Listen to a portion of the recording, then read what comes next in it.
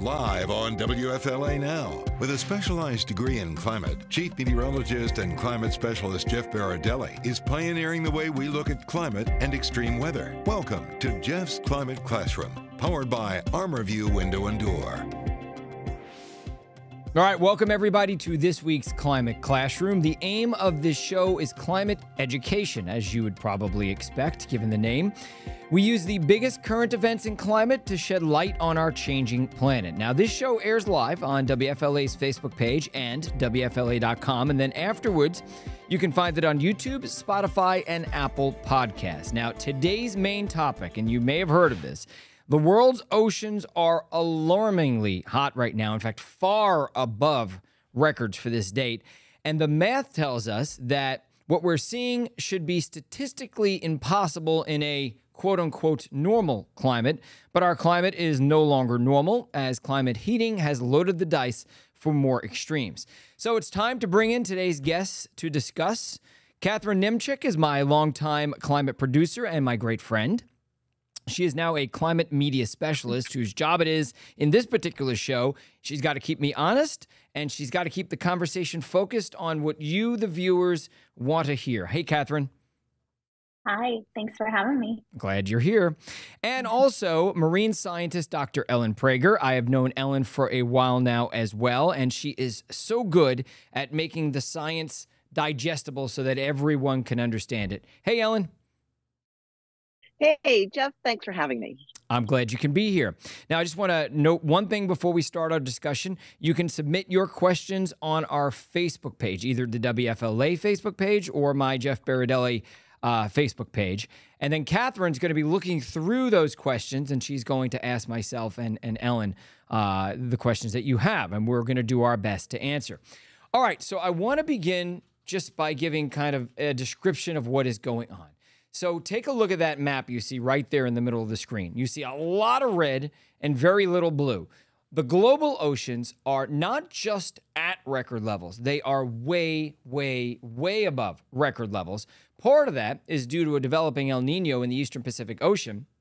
And then there's a whole bunch of weather reasons why it's very warm in the Eastern Atlantic and in the uh, main development region, the tropics, which may pose some problems for hurricane season. Some of that has to do with a lack of Saharan dust, and we're going to be talking more about that as well. I want to show you this graphic right here to give you an idea of how far away from normal and how far away from records we are. All those lines you see on there, they're basically from 1980 until now. And we see the red, that is this year. And we are one degree Fahrenheit, not above normal, but above records in the North Atlantic Ocean. And by the way, I can say almost the same for the globe right now, where the statistical probabilities of having what we have right now on the entire globe of being this warm right now are something like one in several hundred thousand, if not more rare than even that. All right, so with that said, I want to bring Ellen into the conversation. Ellen, I'm sure you are watching this as a marine scientist. So, as someone who's been doing this for a very, very long time, have you ever seen anything like this? And does it in any way alarm you? So, no, I haven't seen anything like this. And I could say personally, I was recently in the Galapagos and the water was way warmer than it should be, even at the beginning of an El Nino. So, that's right on the equator in the sort of Eastern Pacific. So, really warm. Does it shock me? No. Does it alarm me? Yes. Given El Nino in the background of climate change, honestly, I'm not sure this is even unexpected. We knew this was going to start happening, and the question really was when. Well, here it is. Uh, you know, and and I kind of try to equate it with this. Um, let's say you're trying to dunk a ball. It's almost like climate change put a big bench under you. Now it's much easier for you to dunk the ball. It's much easier for us to reach these extremes. So, Ellen, Catherine has a question about the Galapagos. Because whenever I talk to Catherine, she's a lot less interested in the extreme weather and a lot more concerned about life and, and animals. She has she has a heart. I don't have one. So Catherine, go ahead. Ask Ellen what you were going to ask. Well, I want to know how ocean life is going to be affected by these uh, rapid temperature changes. So that's a great question. El Ninos have a very big impact in the Galapagos Islands, and especially strong El Ninos, because what happens is the food web, which is really fueled by upwelling of cold, nutrient rich water, gets shut down. You get a warm cap of water, shuts down upwelling, shuts down productivity, and a lot of the animals can't find the food they need. It's it's actually a pretty difficult time in the Galapagos. The marine iguanas die, sea lions, pups can't make it. The carrying capacity of the animals goes down. So it is a huge issue. The past couple years, you know, climate change has been sort of masked there by La Nina. We've had an unusually long La Nina.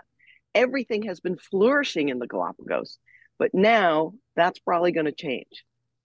Ellen, I'm looking what at about, these. Uh, wait, Catherine, I don't know if you yeah. guys can see the graphic I have up, but you can see the mm-hmm. Galapagos. I mean, it is just boiling there. We're talking several degrees Fahrenheit, if not more above normal.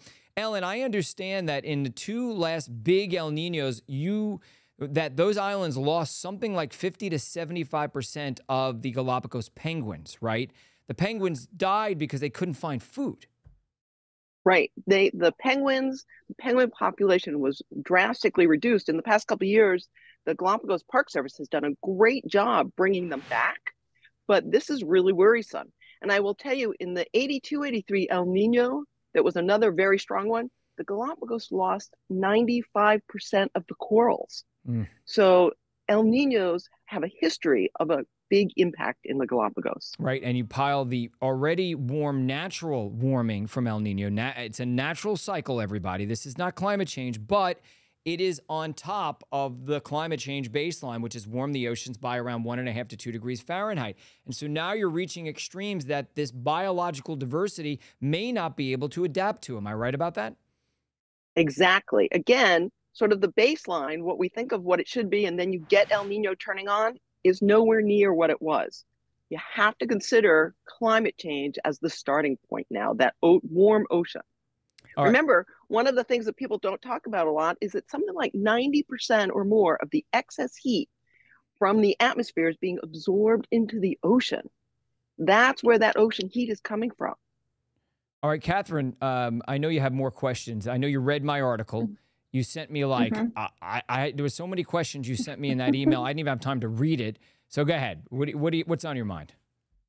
Well, a lot of people are talking about tipping points um, in in relation to this. Um, I was wondering if you could kind of explain what those are and if this is one. Okay, so I'll I'll take it first, Ellen, and then if you want to jump in, um, you can jump in. So basically, the premise is when when we see temperatures that are as high as you see in that graphic right now, above records, not above normal, but above records, it's just most people that are in climate think, did we break something? I mean, I think that is a natural question. Is something broken?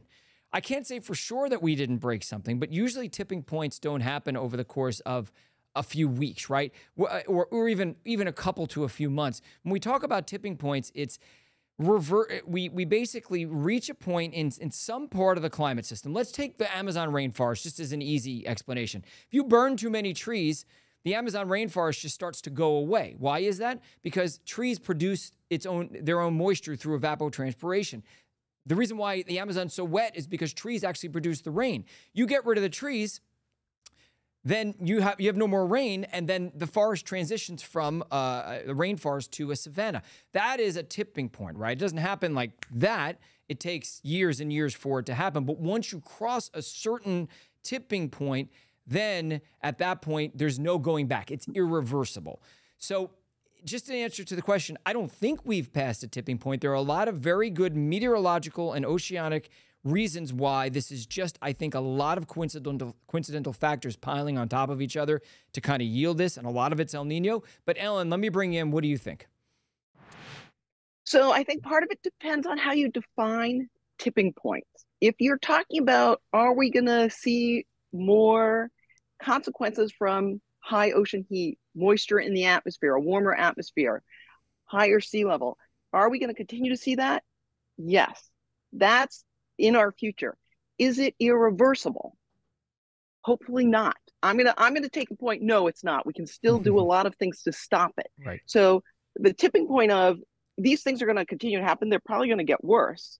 Yes, I think the point here is is it irreversible? And I think we should say no because there are things we can do. So, graphic that I have up there right now is Saharan dust, or I should say, lack of Saharan dust. So, what's happening this year in the Atlantic? Because we talked about the Pacific, we know why it's warming. El Nino, right? That's that's natural warming. Essentially, during La Nina years, all that heat is stored, a lot of it subsurface, so it's not actually in contact with the atmosphere. During El Nino years, all that heat is brought up, it becomes in contact with the atmosphere. And once it does, that ocean uh, atmospheric interface really starts to row things up in the atmosphere and causes a lot of extreme weather. And it causes weird things to happen uh, thousands of miles away. So, one thing that has happened, probably somewhat related to El Nino, is we have a very weak high, very weak Azores high in the Atlantic. Now, typically it'd be strong it would cause a strong circulation. It would cause strong trade winds or winds that blow from the east to the west across the tropics that would bring a lot of dust into the Atlantic Ocean. A lot of dust would obscure the sun. It would cool the ocean waters. We have very little dust this year. So it's one of the reasons why Atlantic Ocean temperatures in the tropical Atlantic are the hottest they have ever been this time of year. Take a look at that graphic right there. Where you see the deep shades of red, that all those areas are record hot in the main development region of the Atlantic, which is why scientists are a bit alarmed that this could really contribute to hurricane season. So, what we're hoping for is that El Nino, which is you know the warming of the Pacific, will actually cause enough wind shear in the atmosphere to knock down those storms. So the storms may form across the main development region, tropical Atlantic, but then they may hit a wall of El Nino wind shear in the Caribbean. Now, Catherine, I said a lot. Now, pretty soon I want to tell everyone at home that Catherine's going to have a buzzer and she's going to be able to interrupt me when I go on these rants. And it's going to be, don't laugh because it's going to be connected to electricity and it is actually going to shock me into stopping talking. We're going to test it on JB. And if he's, if he's healthy, if he remains healthy, then we're going to use it on me. Okay. I'm not kidding. We're really going to have a buzzer. We're really going to have a buzzer because it's the only way to stop yeah, me. Not the, not the electricity part. Well, okay. That's good to hear for me at least. So, Catherine, yeah. what, did, what did I say that you didn't understand? Well, I think it makes sense. I mean, I, talking about there's a lot of factors um, at play here, and um, one other interesting point, um, similar, I guess, to uh, the dust, are the um, less pollution. Yeah. So since the 1970s, the Clean Air Act was passed. The United States produces a lot less pollution. That means there's less aerosols across the Atlantic Ocean. That means that there's more sun being let in. So less pollution allows more sun to come in. And that has warmed the oceans over the past couple of decades. And sometimes when we talk about this uptick in hurricanes over the past, you know, 20, 30 years, we often say that it may be as much related to the reduction in pollution as it is to the um, increase in warming of the oceans from greenhouse gases. Now, more specifically, Catherine, I think you're alluding to that law that was passed in 2020, which no longer allows these big cargo ships to emit sulfur dioxide into the atmosphere. We've seen about an 85% decrease in sulfur dioxide. Uh, in the Atlantic Ocean, um, in the atmosphere there over the past uh, two years or so. Uh, and that also is reducing pollution. But the but the real jury is out on on how much extra warming is happening. Is it just a tenth of a degree? Is it a lot more? It's something that's being studied right now. But it is certainly compiled on top of all the other reasons why we're seeing this crazy spike. Ellen, do you have anything to add to that? I just I've looked at a little bit of the data and some of the research, and I think it seems pretty insignificant as compared to the carbon dioxide from other sources. So it's definitely something to look at, but I don't think that's the thing that you can say is is really causing this. I think I think it's like Jeff, like you said, it's a contributor. Right, and I think that's the the moral of this story. You see a lot of people freaking out on Twitter and on different social media because the oceans are just like so far above anything we've ever experienced before. But when you really start to dig into the science, you see that there are just a lot of coincidences happening. And I'm willing to bet dollars to donuts that about 50% of this can be explained by the shift between La Nina and El Nino. Because it's not just an increase in temperatures across the tropical Pacific, it also disturbs weather and oceanic patterns in other parts of the world as well. So I'm willing to guess that uh, a, a a pretty a pretty big chunk is El Nino, and I say that because it likely is a contributor to the weakening of that high in the Central Atlantic as well, which of course cascades into a weakening of the Saharan dust that comes off of off Africa. But one thing I want to mention also is we have the most insane high latitude polar uh, weather pattern that I have ever seen this time of year. In fact, we had a big severe weather outbreak in the southeast yesterday due to this crazy blocking pattern, this huge heat dome across Canada causing all these fires and all that smoke in the middle Atlantic. Ellen, you've been breathing it in lately, I'm sure, or you will be again pretty soon. Um, so that blocking pattern across the Arctic, that has some contribution undoubtedly from the tropical forcing from El Nino, but is likely due to the imbalance in the Arctic because of climate change. We know the Arctic is warming at around three times faster than the global average. Ellen, do you have over the past several years, have you noticed pretty dramatic changes that you'd never seen in the past? Absolutely. And so I, I want to add something here to this. I in the past couple years, I was doing a bunch of research for a book called Dangerous Earth, and I spent a lot of time talking to glaciologists and a lot of people in, talking about climate change. And one of the points everybody made to me is nobody was here the last time the Earth, the CO2 um, concentration in the atmosphere was here.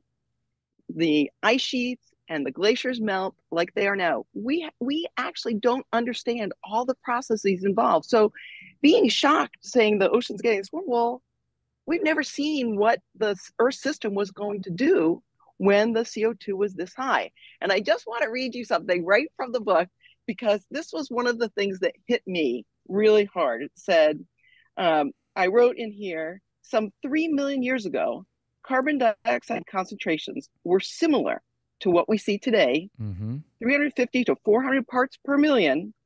Temperatures were 1 to 3 degrees Celsius warmer than now. And here's the big one sea level was up to 20 meters, meters higher. Meters, that's 60 feet. Meters, yep. 60 feet. Mm-hmm. So remember, the last time the Earth was in this situation, nobody was here. We have we don't know how the Earth system's going to respond, mm-hmm. and all of the models are based on what the Earth has been like. So I, I don't even want to call us abnormal or uh, anomalous because we're in a very different system now. We're guinea pigs. Right. It's an unwitting experiment on ourselves. Yeah, and, and it's true. I, I read I was reading an article that reminded me of that. This three million years ago, our carbon dioxide was probably less even than it is right now, right? But the right. but the seas equalized at 60 meters higher. So we're really poking a bear right now, right? An angry beast. Catherine, uh, have you been have you been looking out for questions on Facebook or angry comments? Yeah. Okay. there, are, there are a few angry comments. Still waiting. You think I'm kidding? Questions. You should see the comments I get on Facebook. Yeah, I, well, I do see them now. oh, see, I told you. Were you prepared? Did I prepare you? I was not prepared. um, but I do want to ask. Um, there's there's another possible uh, um, factor in this, and that's the volcanic eruption. Oh yeah, um, but I wanted, uh, yeah, and I wanted some clarity on that because that has to do with water vapor, and my confusion was, well, can you explain about how that's impacting? It's a great the, question. Uh, ocean temperatures. Typically, when a volcano erupts and it's above the ground, above the ocean, uh, it spews a ton of pollution into the atmosphere. And just like we talked about before, the more pollution you have, the more air, we call them aerosols, uh, the less sunlight that comes in that cools the earth. So when uh, Mount Pinatubo erupted in 1992, it reduced the global average temperature of by about a half a degree, I think, a half a degree to one degree Fahrenheit. Uh, but this uh, volcano was under the water. And so instead of spewing pollution, it spewed water vapor, a ton of water vapor way up into the atmosphere and into the stratosphere. So the stratosphere is loaded with water vapor. What is water vapor? Water vapor is a greenhouse gas. And not only is water vapor a greenhouse gas, it's a greenhouse gas that's stronger than carbon dioxide. So essentially, we're seeing greenhouse warming from the Hunga Tonga explosion. Uh, the stratosphere still has a lot of residual water vapor in it. So that is also likely a compounding factor on top of the warming. So it is a lot of things, right? That's why, you know, of course, climate change is at the base of it. We, the graphic you're looking at right now, guys, that shows the oceans have heated up since 1901, and, and it's almost all red. And, and much of the ocean has heated up by two degrees. So, again, that is the baseline. It's like me saying that I'm seven feet tall, right? I'm really not even six feet tall. Climate change has made me an extra foot taller. So, it, it allows you to become, it, it allows you to reach extremes more easily. Here, I have a question. Okay. so, so with the volcanic eruption, so let's say there's a lot more water vapor up in the atmosphere, one of the big questions with the climate models is clouds. Mm-hmm. So yeah. my question would be, you know, you got SO2 coming out so from that volcanic eruption, which, like you were saying, is aerosols, which would cause cooling. Mm-hmm. But if you have more water vapor, what's the relationship with creating more cloudiness, which then could, you know, counteract the warming part. What do, what do you think, right, Jeff? Right, because you're a marine scientist. So I'm going to clarify why she's asking me this question. So she's a marine a science, a marine scientist, so she's usually got her head under the water, and I have my head over the water in the atmosphere. Uh, exactly. Right. Uh, well, it, this is stratospheric water vapor, not tropospheric. So it's above the layer of the clouds. So that was an easy okay. one to an easy one to answer. So, Catherine, you can keeping tabs on our Facebook uh, comments or questions? Yeah, I mean, I I have one uh here. Let's see if I can get it to show up. um. Oh, look at yeah, you! So, yeah, look at learning. you. You did that yourself. That's amazing. so Sue said, "I came in late, but it seems like you guys are not worrying about uh, global warming." Um, so again, I I think this is an opportunity to kind of clarify um, that it's human caused right. and natural causes if we could uh, reiterate that. Right so Can I, yeah go ahead ellen go ahead yeah. You're so you're just worried. from looking yeah looking mm-hmm. at that i am extremely worried and i've always thought of myself as not an alarmist. But i see on the the question the it seems like they're saying because it was like that three million years ago we're not worried about it. But think about the earth was much warmer sea level was 60 feet higher it was not a very hospitable place for humans. And so I'm not that worried about the planet itself.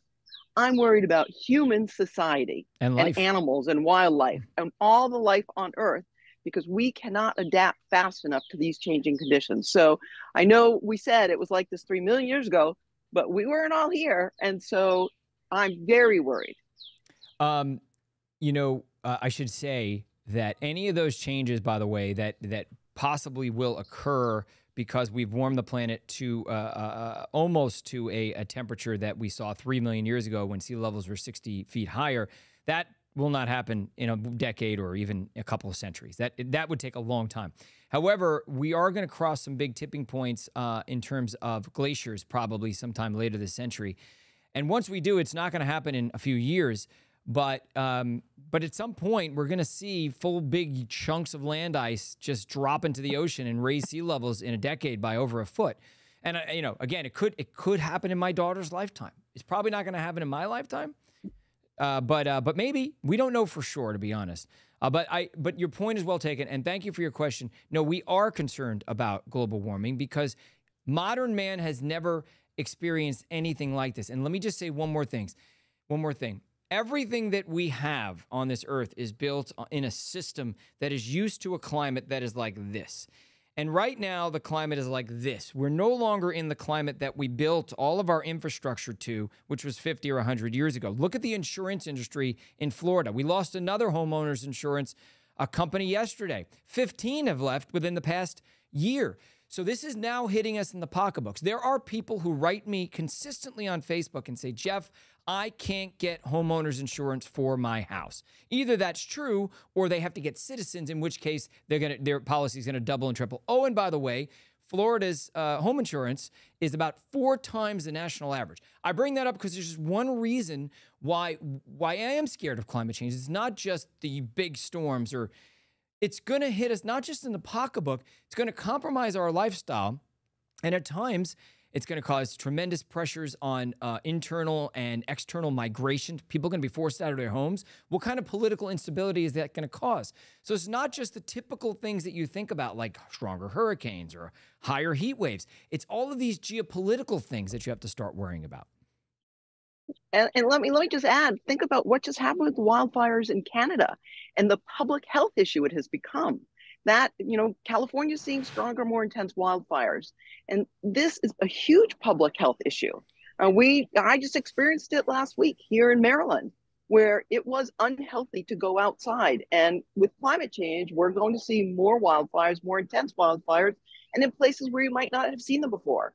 There's also flooding problems. So it's all of these things combined just like jeff was saying. You've got home insurance. Think about food security food security is a real issue um, with the flooding and the climate change. There was a story about there aren't going to be peaches this year. I mean, that's not you know going to survive it, but that's a lot of people's livelihoods. And inflation. There are going to be major changes. And inflation. When you pile all these extremes on top of each other, when and then you pile it on top of war, the U- Ukrainian war uh, you, you, it, it, people don't realize this, but their prices are going up on everyday goods, and and part of that is due to climate change. You mentioned the fires. I don't know if you saw the paper that came out this week by uh, a friend of mine, Dr. John Abatzoglou. I love saying Abatzoglou because it's very hard to say, and I'm very proud of myself that I can say Abatzoglou.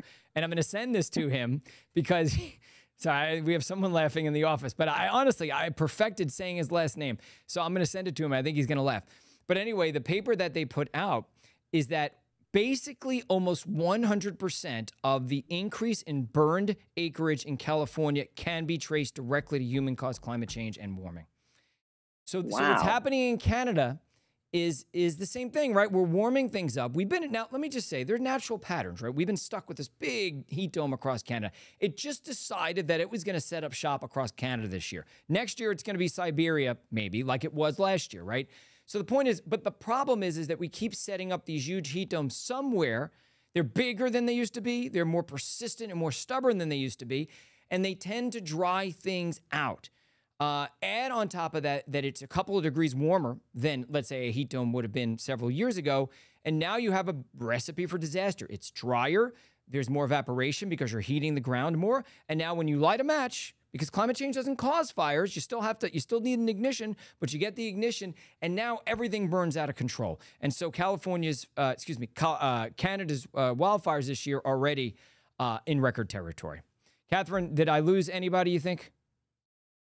No, but I do want to get back to the oceans and the original chart and the original chart. You want me to show um, an original chart? chart? The original the original chart that you had okay. um, at the beginning of this um, that shows the red line going drastically up. Um, I'm going. I'm making my the, way to it. Hold on. I'm making my way. Okay. Go ahead. You keep talking. I'll I'll make my way to it. Okay. Okay.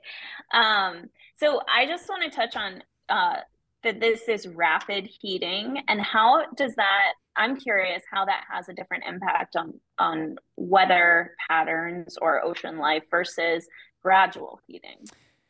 in order, in order to there get, is a difference. Well, let me. I'll answer a teeny bit of that, but Ellen's going to have to answer most of it. So, in terms of weather patterns, when you get a rapid increase in ocean temperatures, it takes a while for those ocean temperatures to translate into weather patterns. It, it takes weeks and months.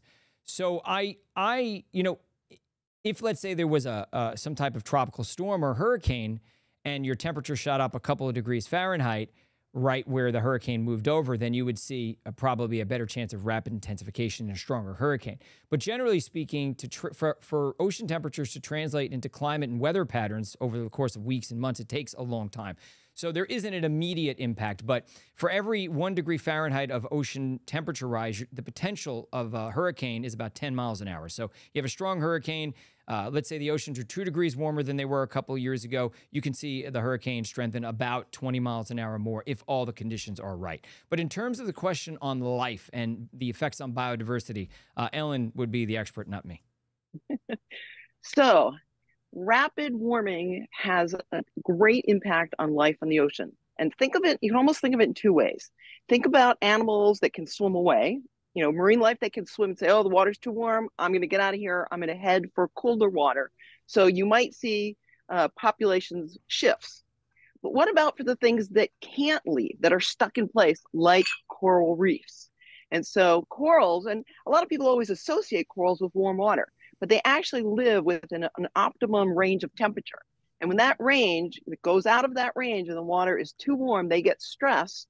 They expel their symbiotic uh, algae partners and they what called bleach. And a lot of times, if that is extended or acute, those coral reefs will die. And around the world, we are seeing coral mortalities that are beyond what we've ever seen. Mm-hmm. So there are going to be extreme impacts in the ocean. And I don't know if you saw in the news, another thing that can happen is fish kills. Along the, te- the Texas coast, the water's been very warm.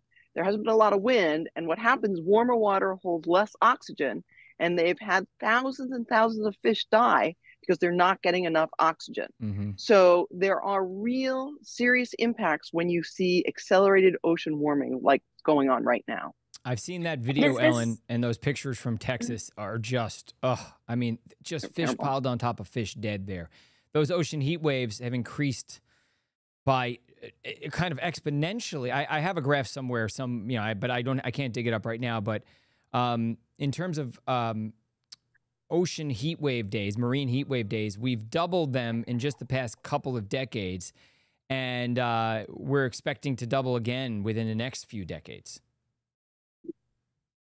Go ahead, Catherine. But what about uh, the risks of um, algae blooms?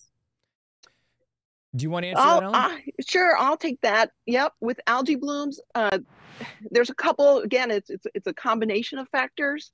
Um, typically, when the ocean is warmer, it's more stratified, meaning there's not a lot of mixing. And when you get a lot of nutrients coming in, I mean, it's, it's a combination of things. So let's say you have a lot of rain, brings a lot of nutrients in from the land into the ocean the water can't mix and you get algae blooms. And the algae when they they live and then they die fall to the bottom bacteria start using up the oxygen.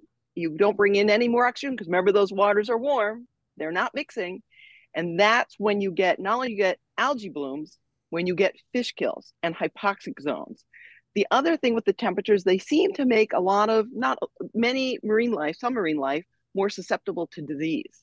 So they could facilitate more algae blooms and dead zones, which are increasing over time. We know that in association with climate change. Um, but there's, you know, again, these are sort of down the road. We're going to start seeing more of these things. So fish kills, algae blooms, and hypoxia. Right. Yes. There's, and then of course on top of that, with more carbon dioxide in the ocean column, you end up with more acidic water as well. So, uh, Catherine, any other questions from either you or from our viewers? Uh, my only question, and I, I don't see any yet from the viewers, they're kind of speaking amongst themselves. Um, but that sounds, that sounds about right. Yeah. Um, but I guess like to kind of sum up, what does all this mean? And is this a new normal? Is this our new baseline? It's the new abnormal, Catherine. So that's yeah. I mean, right? I mean, you know, we keep raising the baseline, and so every time there's an El Nino, and we, by the way, we expect crazy stuff to happen during El Nino years. I expect to see, and I'm virtually certain of this, Catherine. I'll bet you a coffee, okay, or more. Um, that we are going to see extremes this year that we've never experienced before all around the earth. But that's not really a, a guess. Um, there's certainty in that we're going to see a, probably going to be a strong El Nino, maybe a super El Nino, on top of an, of an ocean that has warmed dramatically since the last El Nino. And every time we have El Ninos, and the last big one was 2015, 2016, we end up with record global temperatures. There's a very good chance that either this year or if not next year will be the warmest year ever on record for the globe since we've been keeping records. And by the way, that also means that it's the warmest year since the middle since the middle of the last interglacial, which is over 100,000 years ago. So basically, this year is the warmest year on Earth in over 100,000 years, for sure, or next year.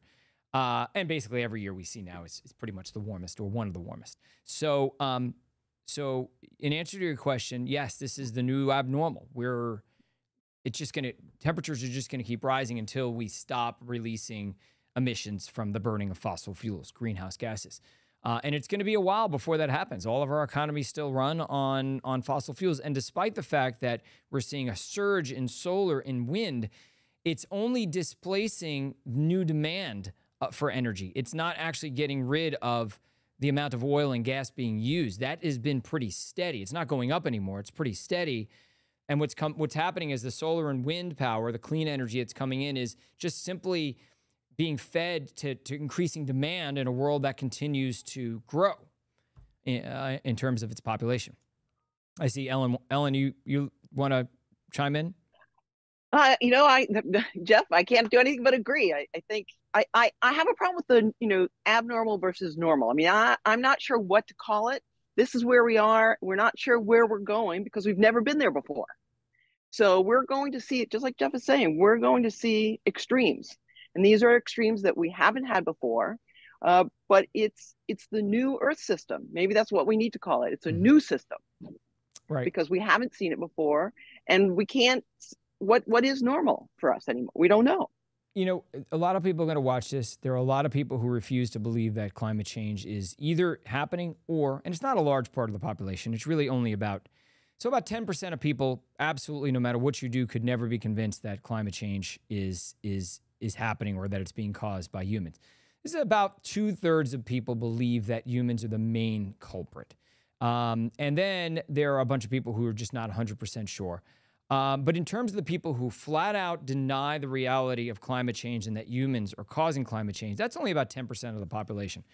Uh, but there are a lot of people that are probably watching right now that we couldn't possibly convince them uh, that this is the case. But what I can say is, regardless of, of whether you believe it or not, it's coming for your wallets. It's coming for your pocketbooks. You know, we're seeing increase in prices uh, in terms of inflation on our products, and some of that is due to more extremes in the climate. Insurance, no doubt, we're seeing stronger storms. Things are also more expensive to build, and so because of that, insurance companies are saying, "I'm out. I'm not gonna. I'm not gonna play in this in your sandbox anymore." And so we're seeing a lot of that as well.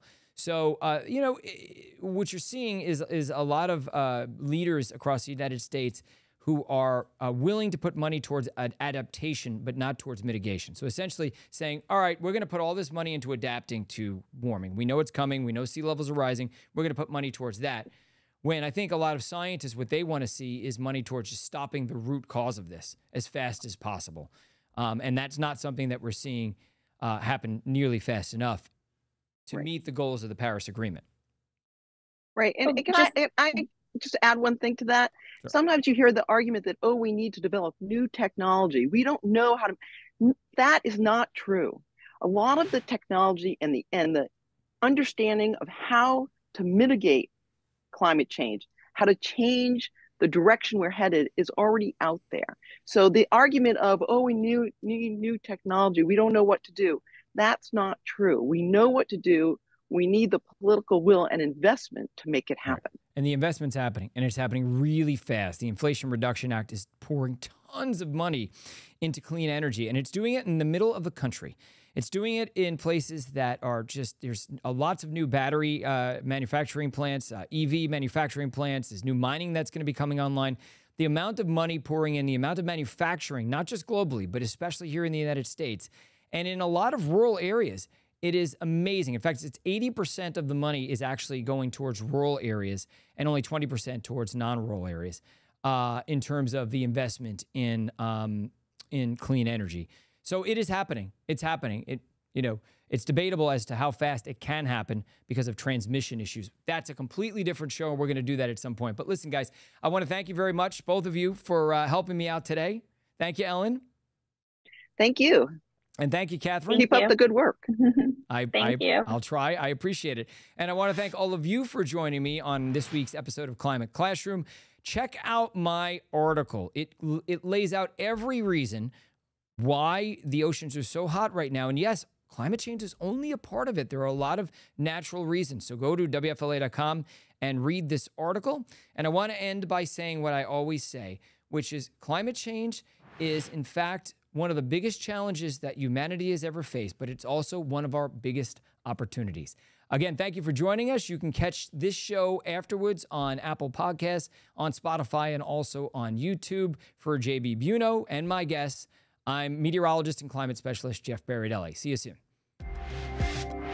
Watch or listen to Jeff's Climate Classroom, powered by ArmorView Window and Door on WFLA social media platforms, and find Jeff's climate reports on WFLA.com.